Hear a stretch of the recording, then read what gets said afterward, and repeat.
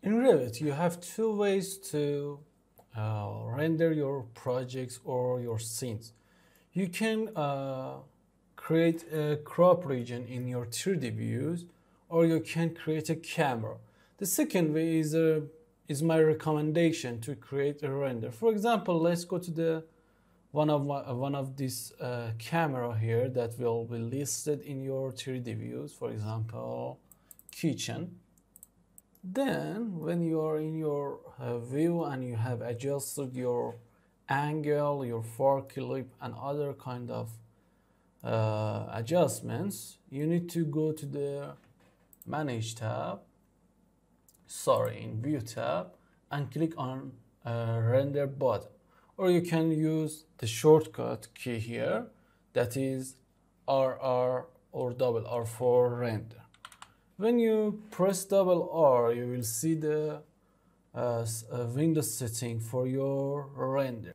Let me describe all of the uh, parameters here. The first one is render when you uh, click on render, the rendering process will start, uh, will start. But before that, you need to do some, uh, you need to do some adjustments here that are really that are very important because they can uh, specify your rendering time, your quality, your pixel density, your uh, and other kind of things that are important in your renders. The first one is region. When you check the region, you can uh, render the one of the the smaller part of your view. For example, when you have changed this material for this ceiling you can just come here and create a region here. Let me make it smaller.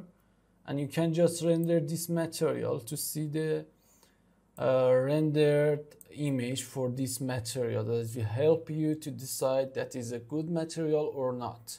And in this situation you are not uh, you don't uh, you don't have to render all of the view.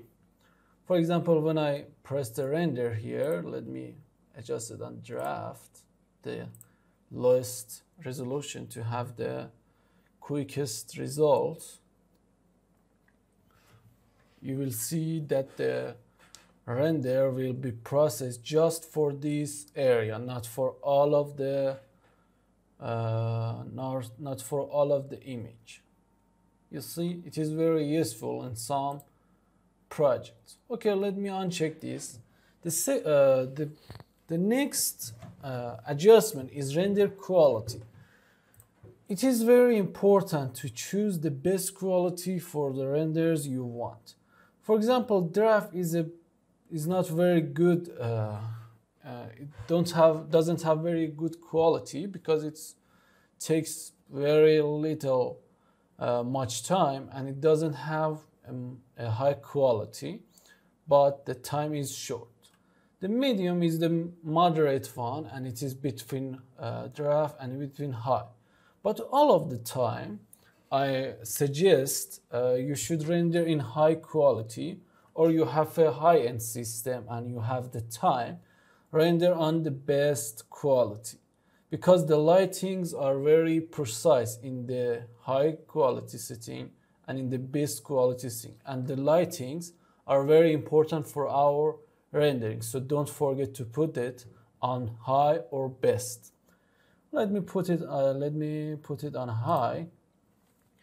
The next uh, part of rendering is for your resolution or pixel density for example, if you want to show this render to your, for example, your uh, client on your computer, on your laptop, put it on a screen. But if you want to print that, for example, you want to make a poster from your rendering, you need to choose the uh, compatible DPI for your resolution. You can see the dimensions here, but be careful because the more DPI you choose, the more time you should wait for your rendering and also the the size of your image will be increased if you choose the high DPI. Because I'm not going to printed I just go I just uh, choose the screen uh, option here okay let me uh, create a render from this view uh, but before that let me describe the lighting options here. The first one is when you want to render the night mode or you want to render the uh, day mode it is very important to adjust it in your lighting section. For example here we have four modes uh, sorry six modes. Exterior sun only it will be a day rendering but it is uh, it is appropriate for your exterior renderings exterior sun and artificial. In these modes that I don't recommend there will uh, there will be uh, both of the suns and artificial lights that I don't recommend. I just use in, in my projects I always use or sun for day rendering or artificial lights for the night mode. I don't use uh, the mix one, but you can use that for your project if you want to. And we have exterior artificial only, interior sun only, and interior artificial. Because it is an interior, because it is an interior render, I choose interior sun only because I want a, a day render. Okay, for the background, you can choose your skies from some options that you have here. For example, a sky with no cloud, cloudy and very cloudy. And also you can choose a color, but I don't recommend it. But if you have a image and texture for your sky that are really with high quality HDRI, uh, you can use them here. You can use image for that and if you want to place a, a custom sky in your second or in your third party program, for example, Photoshop, you need to put it on transparent. It will be rendered transparently and you can uh, replace your sky in your third party program like Photoshop very easily. Okay, let me put it on sky with few clouds. Okay, and here, when you have some, for example, I have 10 lights. In here, okay, let me uh, describe this part after the rendering because these are for uh, after renders, not before renderings. Okay, just click on render and you should wait until your rendering has finished. This is the final rendering after two minutes. Mm, it's nice, but I can uh, I think uh, it will be better if it was a little bit brighter. But don't worry, you don't need to and you don't have to to render again. Here in uh, the image part, I have export image that you can save your image in your computer and your in your PC or in your laptop and also I have a save to project. When you do you do this save to project, it will uh, it will transfer to here in your rendering pod. But I recommend to export this image separately in your computer because it is much better. But uh, let me describe the adjust exposure part. When you do that, you will have some sliders that will help you to uh, post-process your renders. For example, in the exposure value, I can uh, adjust to a brighter value. For example, if I change this to maybe it is too bright, let me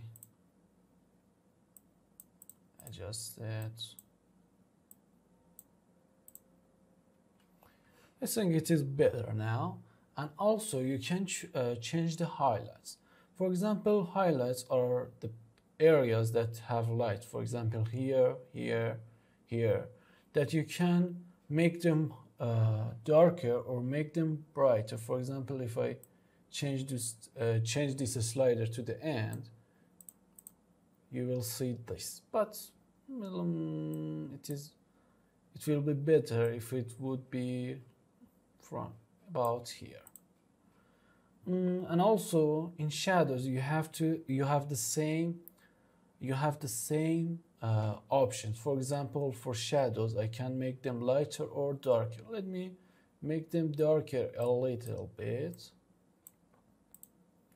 It is very better now. And also you have saturation and you have uh, white point or your color temperature. I don't want to change them in my day renders. I will use them in our nice renders. You see, it is a very better uh, render after this manipulation in adjusting uh, some options. But don't worry, if you don't want this option, you always can reset, uh, reset this image to the previous settings from here. But I, do, I don't want to do that because I'm, uh, I'm, I, I'm satisfied with, uh, I have satisfied with this new version. Okay, this is good for me. Let's go to the another view and let's create a night uh, renders from here. For example, here, press double R and from here use interior artificial only. And for adjust exposure, click on reset every time you want to create a new render to don't uh, make your default render very bright or very dark. Click on OK and click on render. This render also finish in less than two minutes with uh, this setting, but you can see this render with the default lights are not very bright. I want to I want this re render a little bit brighter, but don't worry, again, you have two ways. The first way is to go and uh, to return and place some other lights and render again. But the second way is to use these adjust exposures. For example, click on here and make it a little bit brighter. You can see it is very better now. And also I don't want, I forgot that I need a cooler lights for example, blue lights, not uh, yellow or white lights. But don't worry again, you can change them from here. Just make it cooler. And you can see the, a completely different render after this process. And also you can make it cooler again. Not very at the end, but you can see it is a completely render, completely different render from this to this. So don't panic when you render and first use these options and if you didn't satisfied with the results you can return and change your object, change your materials and change your lights.